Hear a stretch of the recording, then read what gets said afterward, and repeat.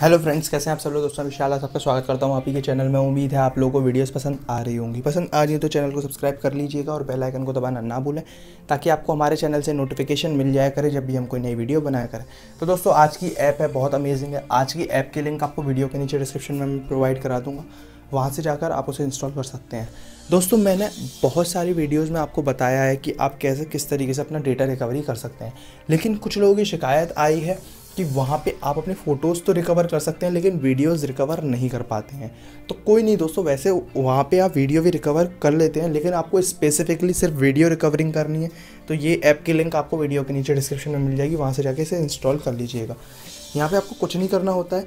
हालाँकि इसमें premium version भी है, लेकिन आपको प्रीमियम वर्जन यूज़ करने की नीड नहीं है। आप फ्री वर्जन यूज़ करके ही अपनी जितनी भी वीडियोस हैं, जो डिलीट हो चुकी हैं, वो आप रिकवर कर सकती हैं just by a one click okay दोस्तों, यहाँ पे रीस्टोर का बटन है, इस पर क्लिक करना है। पुरानी से पुरानी, दस साल पुरानी भी वीडियो क्यों ना हो आपके फ़ोन में, वो भी आपको मिल जाएगी। बहुत अमेजिंग है यूज़ करके देखिएगा इस ऐप को। रीस्टोर पे आप जैसे ही क्लिक करेंगे दोस्तों, यहाँ पे देखिए restore deleted video view restore यहाँ पे आप देख भी सकते हो रीस्टोर भी कर सकते हैं।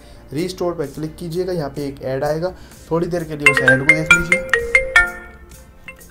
थोड़ी देर के लिए इस ऐड को देख लीजिए और आपकी सारी वीडियोस रिकवर हो जाएँगी। देखिए दोस्तों रिकवर होना स्टार्ट हो गई हैं। इक्कीस, एक सौ पाँच। बहुत पुरानी से पुरानी वीडियोस यहाँ पे आपको मिल जाएँगी।